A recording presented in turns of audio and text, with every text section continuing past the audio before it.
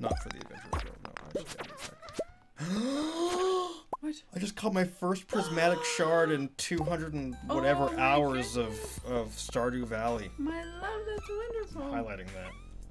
Oh my goodness. Yay. That's been how many hours has it been? I have to, I have to look now. It's been 270 hours of Stardew Valley, and I just got my first prismatic shard. Nice, yay. Great googly moogly. you should run to the desert right now